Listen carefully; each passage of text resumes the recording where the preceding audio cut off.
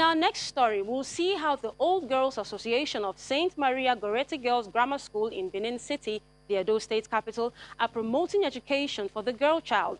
The story starts from their alma mater, where they were molded into the women they are today. Take a look.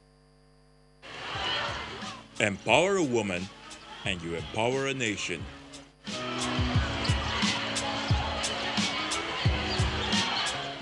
The saying holds true for as many girls that they are allowed to live up to their potential.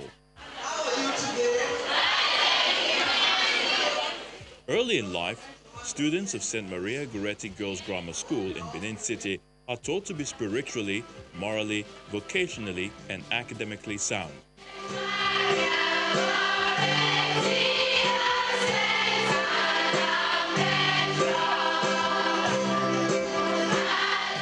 Like many other schools, girls that pass through here form and nurture lifelong bonds which they grow up to cherish even more. Now, try to pronounce the sound N or M, blocking your nose. Products of the school say the all-round education leaves indelible mark on the young minds who evolve into sisters, confidants, mothers, and daughters to each other.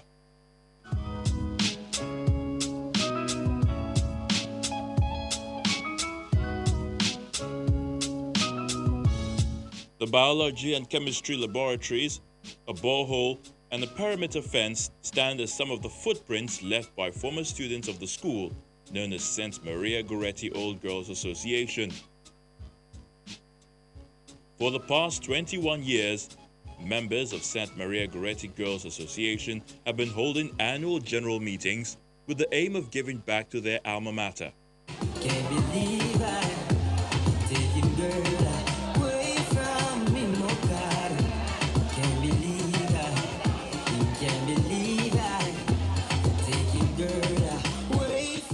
After a successful meeting in Lagos this year, the old girls are taking some time out to keep the sisterhood strong while having some fun.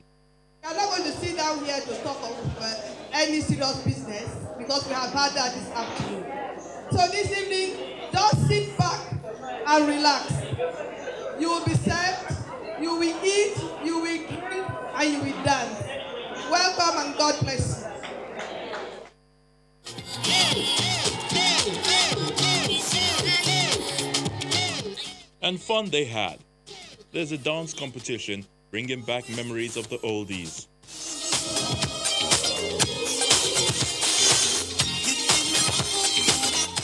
There's also a contest of the most creative outfit and the best idea for developing their alma mater.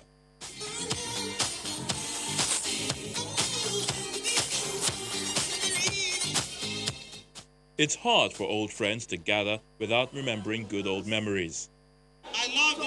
Sisterhood because, like I say, like I always say, St. Maria Goretti made all the difference in my life.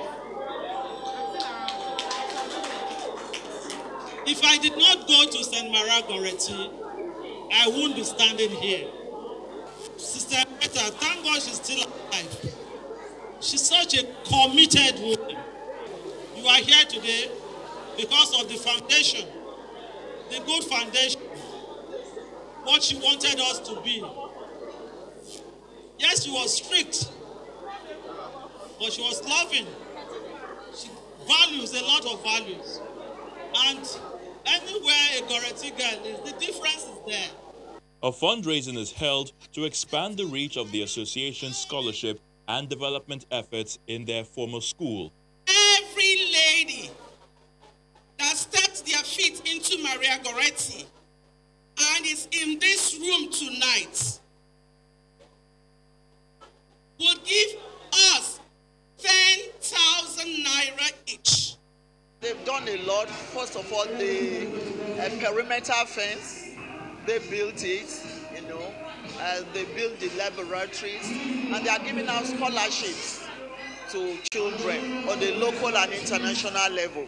Like last year alone, uh, the international group, that's GOGI, they gave out 25, uh, they gave uh, 25 students scholarships to Igbinedion University. And they are still working, you know. They are even paying uh, teachers on a part-time basis to coach children.